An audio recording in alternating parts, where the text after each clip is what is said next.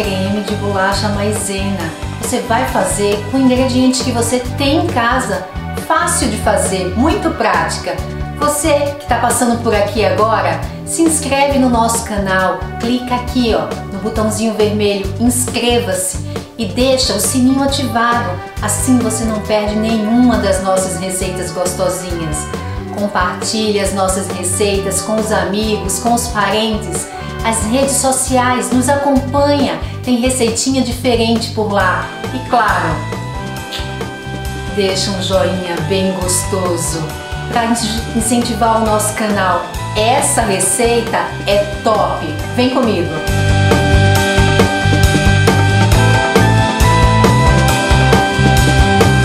Vamos iniciar nossa receita usando 200 gramas de biscoito tipo Maria ou maisena. Nós vamos triturar no liquidificador. trituramos até obter uma farinha assim, bem fininha. Depois que todos os biscoitos foram triturados, eu acrescento 100 gramas de manteiga derretida, mas ela não pode estar tá muito quente não. Está derretida, mas em temperatura quase que já ambiente. E misturamos. Até formar uma consistência de areia úmida. Agora, escolhemos uma forma com fundo falso e 20 centímetros de diâmetro para a quantidade de ingredientes que eu estou passando para vocês. E aí nós vamos modelando aqui no fundo da forma e deixando subir um pouquinho aqui as laterais. Vamos usar metade aproximadamente dessa farinha, dessa farofinha de biscoito umedecida com a manteiga. Para ajudar a modelar essa base de biscoitos, nós podemos ir pressionando com um copo. Assim vai ficar bem compacto e regular. Olha a aparência da nossa base de biscoito já modelada. Agora eu vou levar para a geladeira por 30 minutos para ficar bem firme. Enquanto nossa base da torta está na geladeira, vamos preparar o creme que vai rechear nossa torta quatro gemas peneiradas.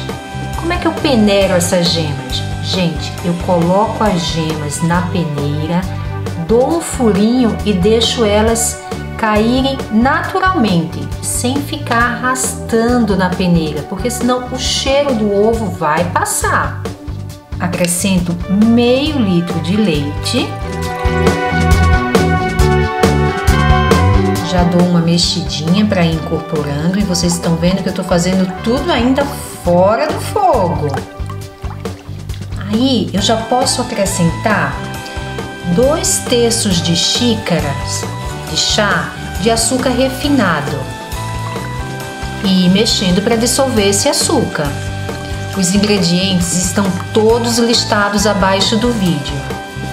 Quando você estiver mexendo e não sentir mais o açúcar, você acrescenta 5 colheres de sopa de farinha de trigo e mexe para dissolver bem essa farinha antes de levar para o fogo.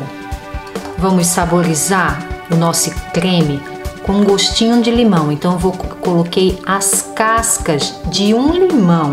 Você pode usar laranja ou se você não quiser usar nenhuma fruta, põe umas gotinhas de baunilha. Agora vamos lá pro fogão?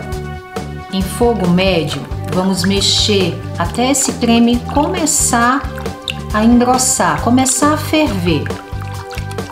Agora que eu vi que o creme já mudou de consistência, eu vou retirar as casquinhas de limão.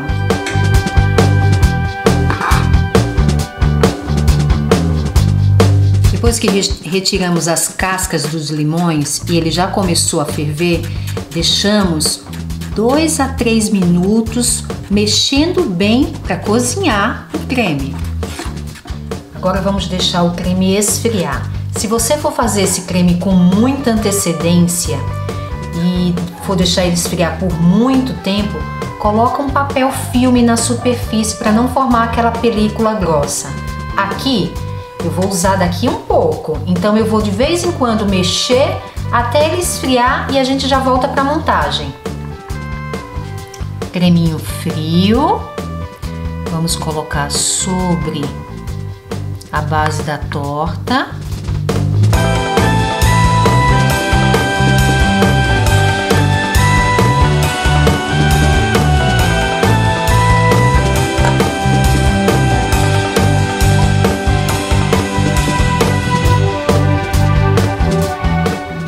Finalizar a montagem, vamos colocar aquela bolachinha que nós deixamos reservada preparamos para a base da torta. Vamos colocar aqui em cima. Mas com esse aspecto bem rústico.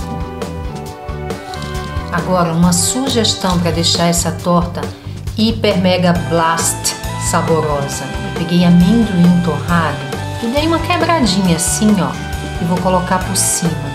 Porque aí vai ficar a cremosidade do recheio com a crocância do amendoim, gente, vai ficar bom demais.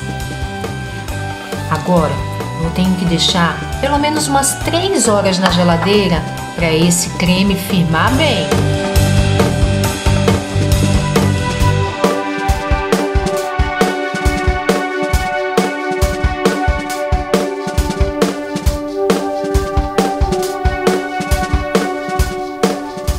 Simplesmente divina. Esse creme é uma delícia, o toque do limão e a crocância do amendoim, uma combinação perfeita. Você tem que fazer, você tem que fazer assim que puder. Um beijo, um bom dia e te vejo na próxima receita.